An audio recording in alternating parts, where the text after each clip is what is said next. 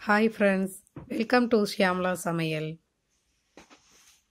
இன்றைக்கி நாம் பார்க்க போகிற ரெசிபி என்னென்னு பார்த்தீங்கன்னா புதினா சாதம் அதுக்கு நாலு பச்சை மிளகா ஒரு அஞ்சாறு பூண்டு பல் ஒரு பிஞ்சளவு இஞ்சி அதோட ஒரு ஒன்றரை கைப்பிடி புதினா. இது எல்லாத்தையும் பேஸ்ட்டாக நல்லா ஃபைன் பேஸ்ட்டாக அரைச்சிக்கோங்க. ஒரு வானல் வச்சுட்டு நல்லா ஹீட் ஆனதுக்கப்புறமா ரெண்டு டேபிள் ஸ்பூன் தேங்காய் எண்ணெய் விட்டுருக்கேன். தேங்காய் எண்ணெய் சேர்த்துக்கோங்க. அதுதான் வந்து இந்த ரைஸ்க்கு ரொம்ப நல்லாயிருக்கும் இப்போ எண்ணெய் சூடானதும் ஒரு டீஸ்பூன் கடுகு சேர்த்துட்டு நல்லா லைட்டாக பொரிய ஆரம்பித்ததும் இதில் வரமிளகா வந்து ஒரு நாலு வரமிளகாய் இந்த மாதிரி ரெண்டாக கட் பண்ணி சேர்த்துக்கலாம். இதுக்கு வந்து இந்த ஃப்ளேவர் அந்தளவுக்கு நல்லாயிருக்கும் இந்த ரைஸ்க்கு அதை சேர்த்துட்டு ஒரு ஃபிஃப்டி செகண்ட்ஸ்க்கு நல்லா வந்து பொரிய விடுங்க. இப்போ சின்னதாக மிக்ஸ் பண்ணிக்கலாம்.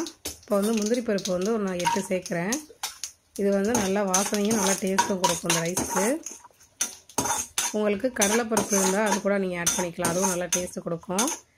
ஒரு தேர்ட்டீன் செகண்ட்ஸுக்கு நல்லா வந்து இதை புரிய விட்டுருங்க. இப்போ அது நல்லா ஃப்ரை ஆகட்டும்.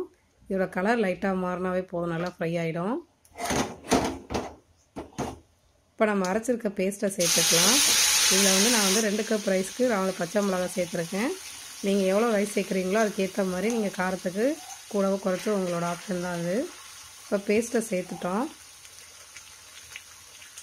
இதுக்கு தேவையான அளவு உப்பு சேர்த்துக்கலாம்.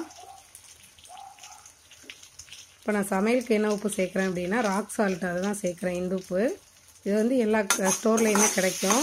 நாட்டு மருந்து கடைகள்லையும் இருக்கும் எல்லா இதுலேயுமே இருக்கும். இப்போ அதை சேர்த்துட்டு நல்லா மிக்ஸ் பண்ணி விடுங்க. இதுலேருந்து நல்லா எண்ணெய் பிரிஞ்சு வரணும். அப்போ தான் இதோட பச்சை வாசனை போடுறதா அர்த்தம். நல்லா எண்ணெய் பிரிய வர வரைக்கும் நல்லா வதக்கிடுங்க. அடுப்பை வந்து மீடியம் ஹை ஃப்ளேம்லேயே வச்சுட்டு வதக்குங்க.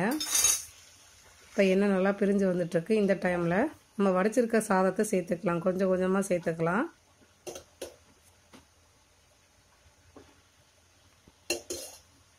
இப்போ ரைஸ் சேர்த்துட்டு இதை நல்லா வந்து மிக்ஸ் பண்ணி விடுங்க. இந்த மசாலா எல்லா இடத்துலையும் ஸ்ப்ரெட் ஆகிற மாதிரி நல்லா மிக்ஸ் பண்ணிக்கலாம் இதை. காய்கறி இல்லாத சமயத்தில் ரொம்ப ஈஸியாக செஞ்சிடலாம். அந்த ரெசிபி வந்து ரொம்ப டேஸ்டியாகவும் இருக்கும். புதினா வந்து உடம்புக்கு அவ்வளோ நல்லது.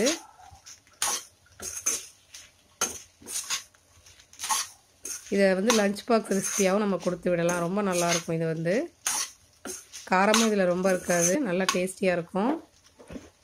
இப்போ நல்லா மிக்ஸ் பண்ணி விடுங்க இப்போ மிக்ஸ் பண்ணும்போது அடுப்பு ஆஃப் பண்ணிவிடுங்க. சூப்பரான சுவையான புதினா சாதம் ரெடி ஆயிடுச்சு இந்த ரெசிபி உங்களுக்கு பிடிச்சிருந்ததுன்னா இந்த வீடியோவை லைக் பண்ணுங்கள் ஷேர் பண்ணுங்கள் மறக்காமல் கமெண்ட் பண்ணுங்கள் நீங்கள் இந்த சேனலுக்கு புதுசாக இருந்தீங்கன்னா இந்த சேனலை சப்ஸ்கிரைப் பண்ணிடுங்க.